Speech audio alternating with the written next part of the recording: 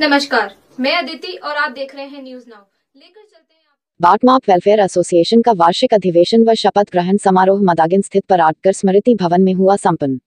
शपथ ग्रहण में शामिल होने आए प्रदेश के सभी साथियों को आभार प्रकट करते हुए मदागिन स्थित पराटकर भवन में संगठन के संरक्षक राधेश्याम उपाध्याय ने अपने संबोधन में कहा कि, उपभोक्ताओं को सही वज़न में सामान मिल सके, इसके लिए बाटमाप विभाग के साथ ही हमारे संगठन के तीनों अंगों निर्माता, विक्रेता व मरम्मतकर्ता पर बड़ी ज़िम्मेदारी होती है।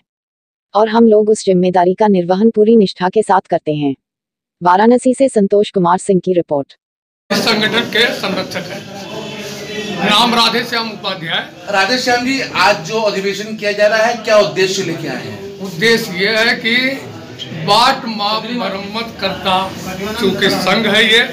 और इसमें हमारे साथियों का जो शोषण होता है उससे मुक्ति दिलाने की दिशा में हम लोग काम कर रहे हैं। बात अपने साथियों को शोषण की मुक्ति की बात कर हाँ। और साथ और दूसरी तरफ़ आम जनता व्यापारी जो व्यापारी वर्ग है उससे बाट माप के नाम पे अवैध वसूली की जाती है और उनको प्रताड़ित किया जाता है। इस पे संगठन क्या कर रहा है? ये सरासर गलत है। बाट माप के जितने ये संगठन से संबंधित लोग हैं ये उपभोक्ताओं के संरक्षण के लिए हैं उपभोक्ताओं के हित के लिए सारे कार्य कर रहे हैं।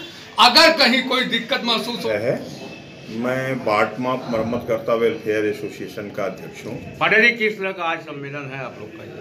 ये अ, साल में यह वार्षिक अधिवेशन है और हम लोग संगठन के माध्यम से अन्य जिलों में उप समितियाँ बनाते हैं। संगठन के उद्देश्य को पूरा करने के लिए हमारी जो उप समितियाँ होती हैं वो साल भर में गठित करते हैं उनको यहाँ शपथ कर शपथ ग्रहण कराया जाएगा। और उनके दायित्वों को सपोर्ट किया जाएगा जो संगठन के हित में और बाटमा विभाग के हित में वो अपना काम करेंगे। बात की जाए संगठन की तो क्या प्राथमिकताएँ लेकर आप आए हैं? हम चूँकि उपभोक्ता संरक्षण से संबंधित ये डिपार्टमेंट है और लगभग हमारे ऊपर बहुत सारी जिम्मेदारियाँ उपभोक्ताओं से संबंधित इन लाइसेंसियों के ऊपर हैं जिसमें कुछ दूषित लोग भी घुस गए हैं वो इसको, इसमें गंदगी भी ला रहे हैं, इसे दूर करना है।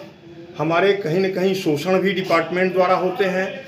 हम बहुत निचले पादान पे आते हैं। हमारा कार्य बहुत ही नीचे स्तर पे है और हमें लोग शोषित भी करते हैं हमारे विभाग विभाग द्वारा और इस प्रकार से हम लोग इस उद्देश्य से संगठन बनाए हैं। उपाध्याय जी आप विभाग की बात कर रहे हैं। देखा जाए, कहीं ना कहीं से उपभोक्ताओं का शोषण वाट माप विभाग द्वारा अक्सर किया जाता है। इसकी शिकायत आती है।